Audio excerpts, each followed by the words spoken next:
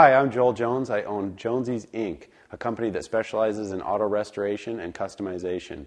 Okay, we're uh, getting ready to spray some primer on uh, a 64 Ford Fairlane project, and I want to walk through some of the safety equipment that are absolute necessities if you're going to try and spray any kind of paint product or modern paint product uh, on your own.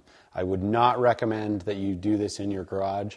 You can rent paint booths for not a lot of money, or you can uh, try to establish some kind of relationship with a body shop and they can walk you through if you really want to be involved. But bare minimum, you're going to need the following products to do this safely. The first is a full paint suit. And the difference between a paint suit and a, uh, just a regular pair of coveralls is, is that these uh, resist uh, chemical as well as it has a full hood. So it comes up, it covers all of your exposed skin, uh, which is extremely important. A lot of the modern paint products can get absorbed directly through your skin and they wreak havoc on your liver and cause cancer and all of really, really terrible things. Again, you want to protect your hands from the chemicals as well. So a reusable pair of gloves is an absolute must if you're going to be handling um, any kind of paint products. And the most important uh, safety equipment that you can have is a respirator.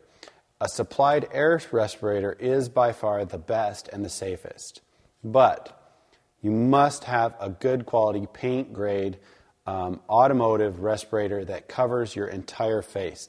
Chemicals can get absorbed directly into your bloodstream through your eyes. And when you're spraying out atomized paint and you, it hits you in the face, it can go directly into your bloodstream through your eyes. So, you definitely want to make sure that you've got a full face shield to protect your eyes and protect your lungs and protect your skin. Finally, you're going to need um, a paint gun. And I only use high volume, low pressure spray guns. This saves on paint, it saves on your compressor, and it helps uh, prevent uh, more environmental impact from um, volatile organic compound emissions.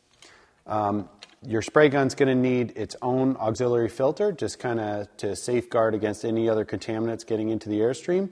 It needs its own regulator at the gun, and then it needs to be calibrated for the viscosity of the product that you're going to be spraying. I would recommend that if you're going to do this consistently and frequently, you invest in two different types of guns. One is a primer gun, and one is a top coat and a uh, clear coat gun.